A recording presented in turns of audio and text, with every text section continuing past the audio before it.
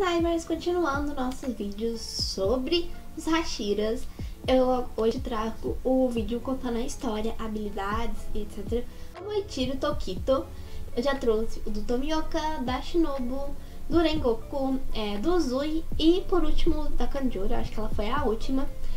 E se você quer saber desses vídeos, é, clica aqui no card e no vídeo adicional, né, no vídeo do Tomioka, eu trouxe algumas informações adicionais e que eu não coloquei nem vou colocar nos outros vídeos. Então, se você quer saber dessas é, coisas adicionais sobre os Hashiras em si, vai ver o vídeo do Tomioka. E acho que é só isso. Se você quer apoiar o canal, se inscreva e ative as notificações e me siga nas minhas redes sociais também. Agora vamos para o vídeo. Sendo Hashira da Névoa e um dos grandes talentosos que necessitou de pouco tempo para se tornar um pilar, sobre o seu passado, diferente do Tokito que conhecemos atualmente, no passado ele era bem diferente e infelizmente ele nem sequer se lembra dessa versão de si mesmo. Muitiro e seu irmão gêmeo viviam com seus pais. Seu pai era um lenhador, já sua mãe em algum momento ela adoeceu, sendo uma espécie de gripe e que ao passar do tempo foi piorando, até que ela morreu. Só que durante esse tempo de piora da mãe, o pai dos gêmeos saiu para coletar ervas daninhas para a esposa, e durante essa viagem ele caiu de um penhasco e, óbvio, morreu. Os dois ficaram órfãos e a partir deste momento os dois começaram a viver por conta própria. Porém, ambos tinham personalidades bem diferentes. Muitiro era alguém sensível, já seu irmão, e o Tiro, era uma criança fria, o que fazia Muitiro não gostar de viver com o irmão. A Mani, que é a esposa do líder dos caçadores de demônios, ela tentou os recrutar para serem caçadores. Muitiro gostou dessa possibilidade, mas seu irmão não. Então, quando a Mani voltava, e o Tiro a expulsava. Durante o verão, um demônio aparece na casa dos dois, então o tiro perde seu braço esquerdo enquanto tenta defender seu irmão.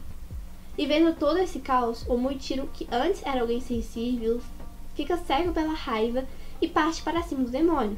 Por ele não possuir um Manitirim, Muitiro utilizou o que possuía naquele momento, ferindo o demônio até o pôr do sol.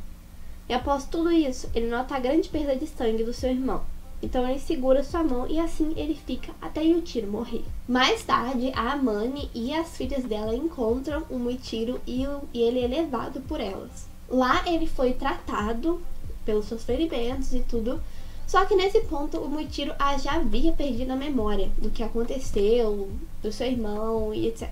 Ele já tinha perdido a memória de tudo. E por esse conjunto de acontecimentos, a perda de memória, os treinamentos, etc. Por ironia, o Moitiro ficou cada vez mais parecido com o seu irmão com o passar do tempo.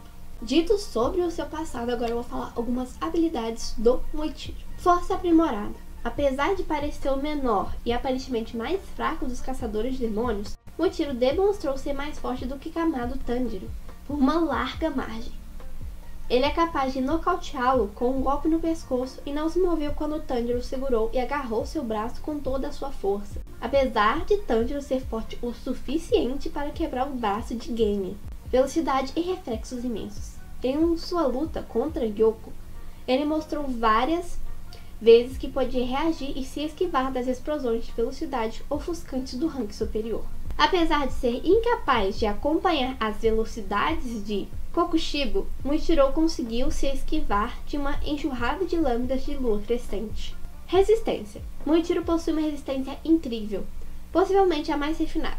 Quando seu braço foi cortado, ele sem hesitar parou o sangramento e imediatamente continuou seu ataque contra Kokushibo. Mesmo depois de sofrer várias perdas de sangue, isso não prejudicou sua determinação e força de vontade. Mais tarde, ele teve suas pernas cortadas enquanto esfaqueava Kokushibo e ainda conseguiu causar danos significativos a ele.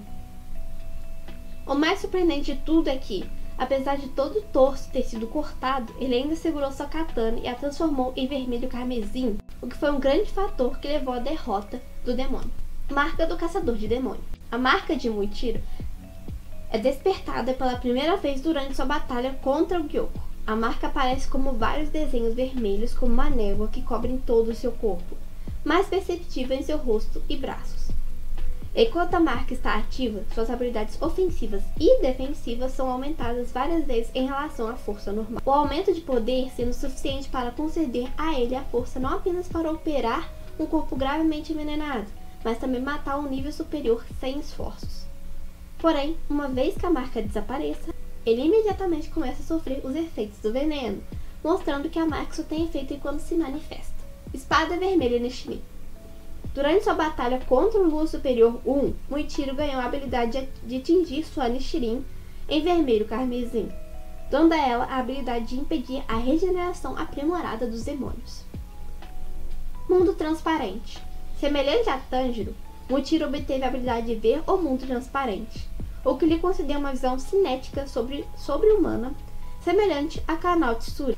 A habilidade permite que ele visse os músculos, o fluxo sanguíneo e o movimento das articulações de seu oponente, o que lhe permitiu prever e antecipar com precisão os movimentos e ataques de seus oponentes. Falando sobre a respiração da névoa, ela é uma respiração derivada do, da respiração do vento. Essa respiração imita névoa e vapor. Praticamente todas as suas formas são uma combinação de técnicas de espada que, principalmente, obscurecem os sentidos e arredores do oponente. Muichiro é conhecido por ter dominado completamente este estilo de respiração, tendo se tornado proficiente em seu uso a ponto de poder facilmente lutar e dominar o nível superior 5. Ele é capaz de criar uma sétima forma inteiramente nova para esse tipo de respiração. Agora, falando sobre as formas da respiração da névoa. Primeira forma, nuvens baixas, neblina distante. Segunda forma, névoa de oito camadas. Terceira forma, respingo de névoa dispersa. Quarta forma, shifting throw slash. Quinta forma, mar de nuvens e névoa. Sexta forma, névoa dispersão lunar. Sétima forma, nuvens obscurecedoras. Agora vamos para a espada Nichirin, que é a parte mais importante de um caçador de demônios. Como a maioria dos caçadores de demônios, o Tokito também possui uma Nichirin padrão. Sua katana é branca, completando o seu estilo de respiração. Seu punho é retangular com retângulos vazados em cada canto. E tem as palavras Destruidor de Demônios. E essa foi a história, as habilidades e a espada Nichirin do Muichiro Tokito. Que a gente deve conhecer em alguma dessas temporadas de Leia. Não tenho certeza se vai ser nessa segunda, mas em algum momento a gente conhece ele. Lembrando que tem outros vídeos contando sobre as histórias, habilidades e espadas de outros caçadores de demônios. Então, se você tem interesse por Demon Slayer, pelos, pelos Hashiras, vá assistir esses vídeos, que como eu disse, vai estar no card aqui em cima. E se você quer me apoiar, se inscreva no canal e ative as notificações, porque assim você recebe todos os vídeos que eu posto. Além disso, deixe seu like e comentários, porque assim eu entendo que você está gostando desse conteúdo e assim eu continuo trazendo ele. E também o YouTube entende que você está gostando dele.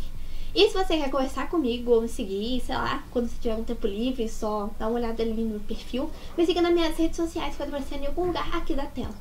Dito isto, até mais.